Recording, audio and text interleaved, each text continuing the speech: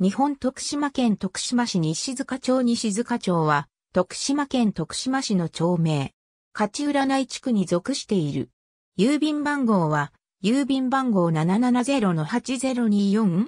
徳島市の調査による2012年4月現在の人口は2735人、世帯数は1138世帯。徳島市の中央部に位置。北は大谷町、三軒山町、西は北山町、東は大松町、南は桂町と接する。もともとは農業地域であったが、急激に新興住宅地化、市街地化が進む。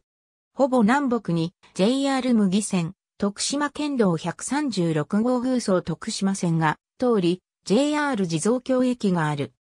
線路の西はまだ水田が多いが、東は西須賀団地、マンションアパートなど多くの住宅が立ち並ぶようになり、駅前には商店街、県道沿いには商店、病院、スーパーなどができている。江戸時代から明治22年にかけて、勝浦郡に存在した村名、徳島藩領。明治4年に徳島県、同年に名東県、明治9年に高知県を経て、明治13年に再び徳島県に属する。明治7年に小福寺に西、須賀小学校を創立。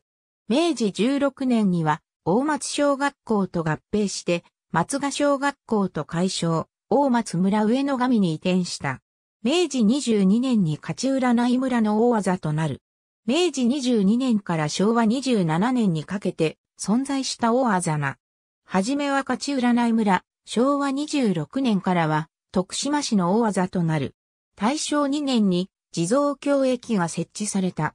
大正7年に西塚郵便局が開設。昭和2年に勝ち占い村信用組合、昭和23年に勝ち占い村農協が設立された。大正元年に中洲に西須賀家畜市場が設置され、毎月8日に開場していた。昭和27年より現在の徳島市の町名となる。元は徳島市西、須賀、大谷、北条の各一部。